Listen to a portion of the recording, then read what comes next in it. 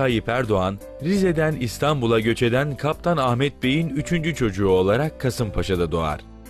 Öğrencilik yılları da yine Kasımpaşa'da bulunan Piyale Paşa İlkokulu'nda başlar. Ve ilk anlarda sevgili annemin götürdüğü ama kısa bir süre sonra artık kendi başının çaresine bak dediği okul yıllarımız. O dönemler okul servisi diye bir şey yoktur. Ve çocuk Tayyip karda, kışta, çamurda yarım saatlik yolu tek başına yürümek zorundadır. Tabii Piyale Paşa İlkokulu evimin hemen yanında bir okul değildi. Biz öyle annemiz her gün okula getirip götürmedi. Ve yürüyerek yaklaşık yarım saat o çocukluk çağında düşünün okula gidiyorsunuz ve yaz, kış ve ayağınızda yamalı ayakkabılar bunlarla beraber bir okula gidiş Servis olmasa da o dönem Kasımpaşa'da sıkı komşuluk ilişkileri vardır. Komşular birbirlerinin çocuklarını kendi çocukları gibi sahiplenir.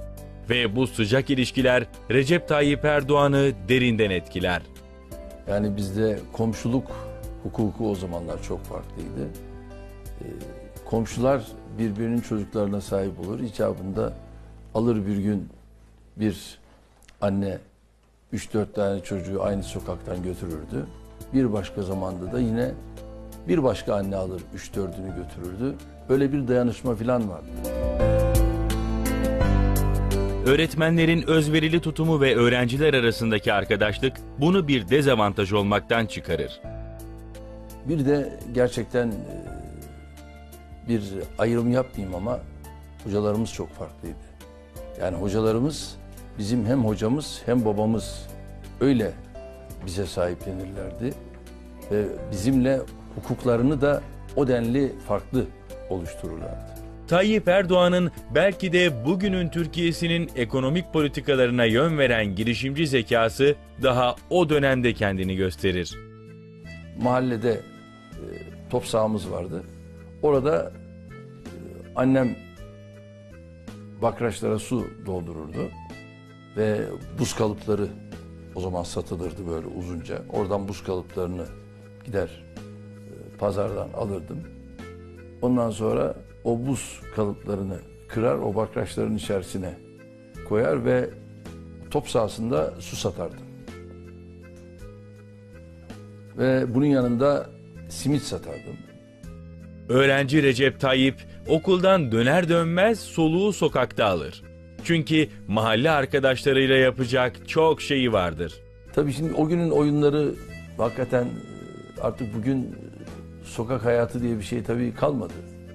Yani mesela misket çok oynardık aramızda.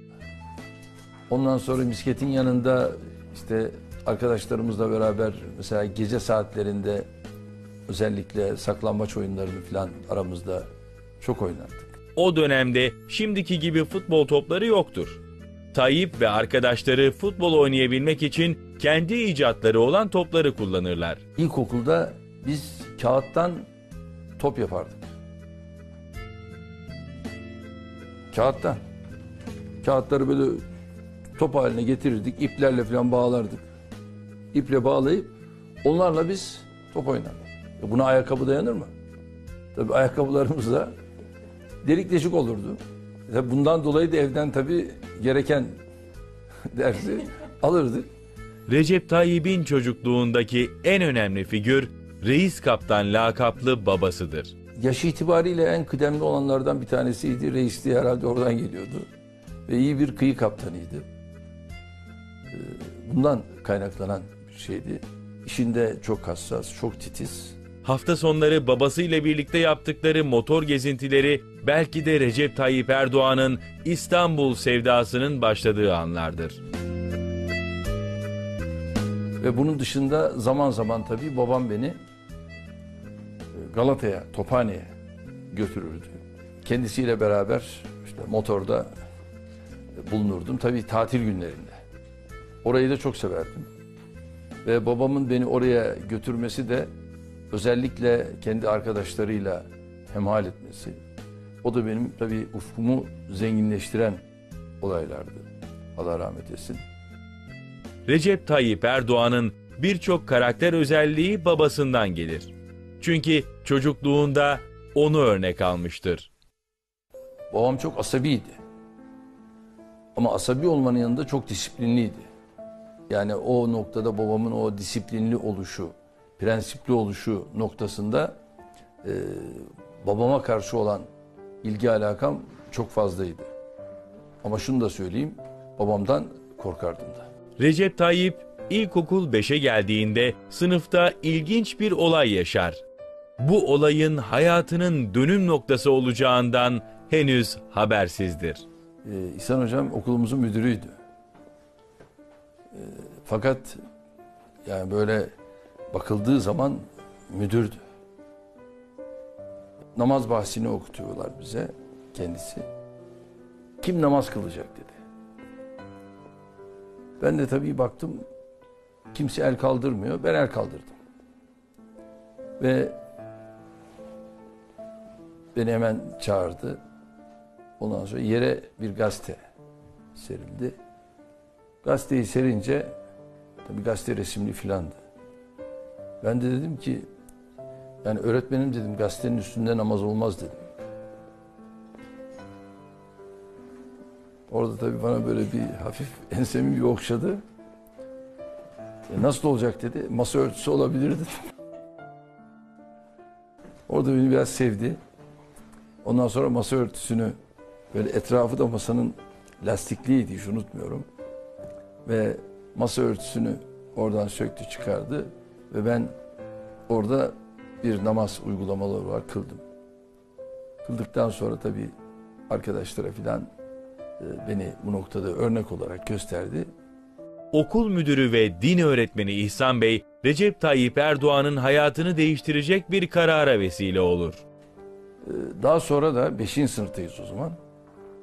Ee, İhsan Hocam e, babamı, rahmetli babacığımı davet etti, çağırdı filan. İhsan Hoca babama dedi ki böyle böyle biz Tayyip'i dedi İmam Hatip okuluna gönderelim dedi. Tabi babam çok aslında ceberuttu. Ama İhsan Hocama çok saygısı vardı. Hocam dedi siz nasıl takdir ederseniz dedi. Biz onu yaparız dedi filan.